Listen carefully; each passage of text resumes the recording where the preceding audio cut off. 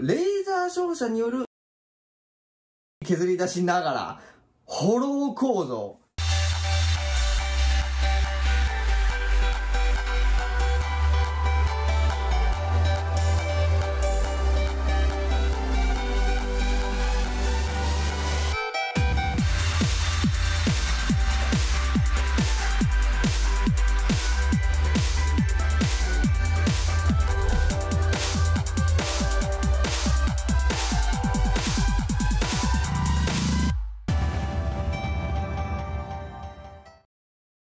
Lightweight is my soul. 軽量化は俺の魂だ。Hello everybody! はいどうも皆さん。シャリールでございます。ポストテック。本日もやってまいりました。大変です。撮影している本日は2024年7月12日ですが2024年頭。今年ですね。1g を切るバーエンドキャップが発表されていました。そして 300g 台中盤のアルミクランクの発売開始と 300g を切るダイレクトマウントカーボンクランクが出るかもしれません。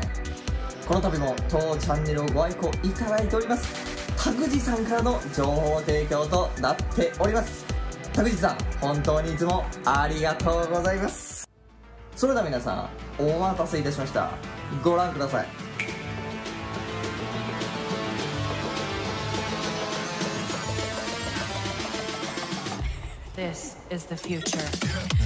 まず最初に EXTRALITE HyperPlugs でございます。バージョンは3つエンドがフラットな MTB 用 0.55g バーテープを巻き込まない軽量エアロ重視のロードグラベル用は 0.8g バーテープを巻き込むロードグラベル用はエンドが開口されていて 0.99g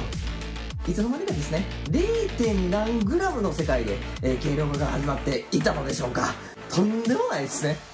価格は7.83ユーロで動画投稿時のレートですと1セット1300円台となっております。こちらはですね SLS 技術セレクティブライザーシンタリングというレーザー照射による 3D プリントのような技術を用いて製造されているのが特徴でございます。それがですねこのザラザラとしているようなね質感にも反映されているのかと思います。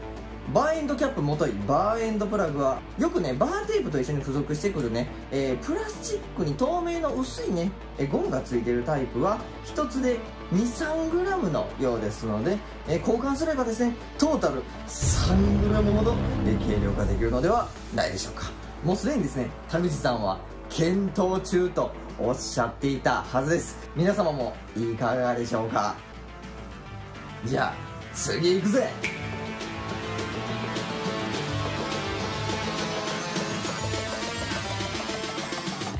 This is the future エクストラライト QRC3 とダリモのプロトタイプでございますえー、 darimo に関してはですね、インスタのストーリーでアップされておりましたんで、まあ、限定公開ということで一応ぼかしておりますが、ご了承くださいませ。ではまず、エクストラライト QRC3 CNC 削り出しながら、ホロー構造、中空となっております。訳がわからないですよね。ご説明いたします。先端からですね中心に向かって穴が開いている様子で裏も表もえぐり込みがすごいです。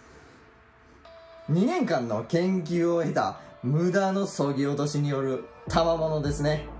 しかも 3D プリントナイロンカバーも装着でき穴を塞いで汚れが入りにくくエアロ化もできるようですね。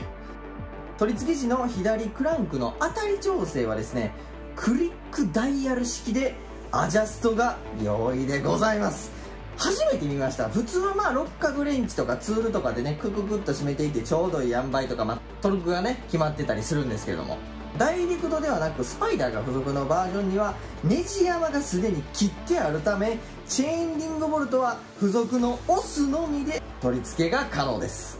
この造形の深さがエクストライトですね。お待ちかねの重量についてですがまずえ私はですねあまりダイレクトマウントクランクに詳しくないということをお許しください。えー、ざっとね調べた感じですと 500g を切れば軽いかなというところですね、まあ、あの超軽量というわけじゃないですよ。というところですのでお詳しい方はですねぜひコメントよろしくお願いいたします。他力本願ですいません。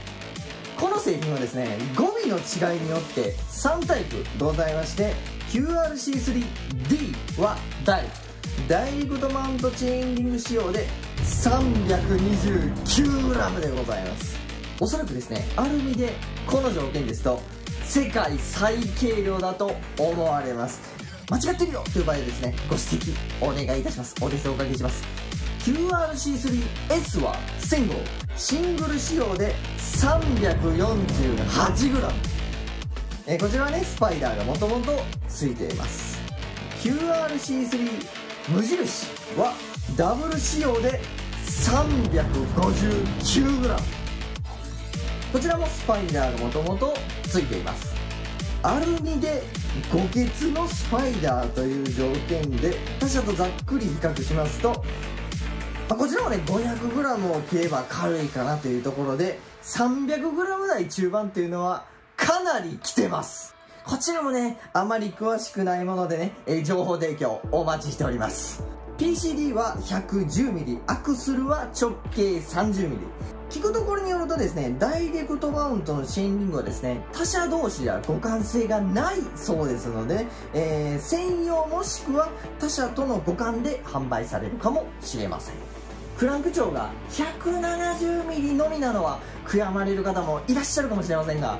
限定カラーも たんまり、えー、準備されておりますしラインナップは3つね、えー、今申し上げた通りあるものの現在はですね QRC3S のシングルスパイダー仕様のみの販売ということもありますので今後のラインナップにご期待ください。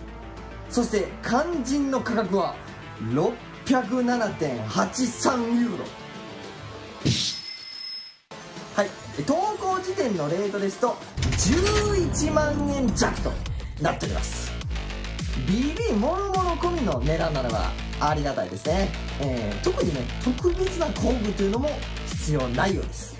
日本正規での取り扱いはねまだない様子ですのでエクストラライト公式ウェブショップおよび以前私がね世界最軽量。今もかな、え、39g のサドルであるゲル K3 を、え、取り寄せた際に利用した R2 バイクなどの海外サイトから個人輸入となると思います。そして最後に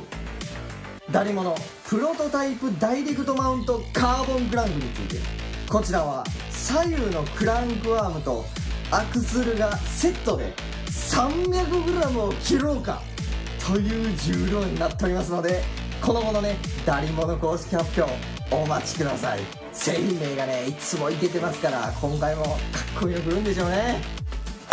本日は以上となっております。また新しく魅力的なプロダクツを共有できて嬉しい限りでございます。というわけで今回も最後までご視聴いただきありがとうございました。それでは皆さん良き自転車ライブをさようなら。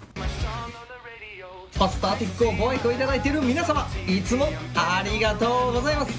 紹介されていた製品を買ってみたよ。という方はぜひレビューのコメントいただけますと転がり回って喜びますそして次回の動画は安定のみたいです。とりあえず MTB は今週中にセミメタルパッドをメタルパッドに交換して来週レビューに行ってディスクブレーキキャリパーの撮影は完了となりますので X での編集進捗お待ちいただくぜ